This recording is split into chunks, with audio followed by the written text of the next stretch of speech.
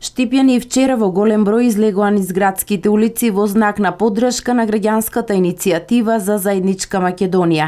Гласно кажаа не за двојазичноста и не за промена на химната, знамето и грбот на Република Македонија. Еве дел од обраќањата на граѓаните на вчерашниот мирен марш. Должни сме да го препознаеме секој обид да се протне предавството.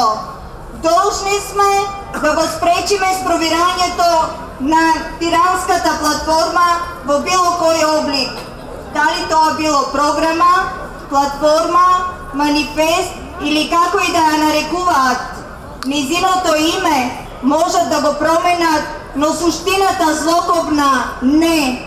Повлечи се заев, придружени се, прифатија подадената рака, не заради ВМРО, прифатија за Денес сакам да се подсетиме на некои клучни моменти од таа историја. Меѓу нив и првиот ден од формирањето на првото македонско собрание на независна Македонија, кога за прв пат беше интонирана македонската химна. Очите ми гледаа и не ми се веруваше дека на тој свечен чин ќе има македонци кои се срамат и нема да застанат исправена и гордо на македонската химна.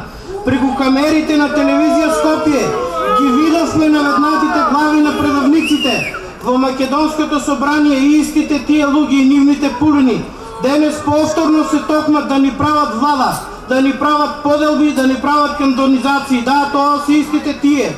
Кои го продадоа името, кои го сменија знамето, и малку им било сега пак се спремаат за нови промени. Граѓанската иницијатива за заедничка Македонија и попладне во исто време 18 часот и од истата стартна позиција пред Штипскиот музеј ќе го почне мирниот маш низ улиците во центарот на Штип.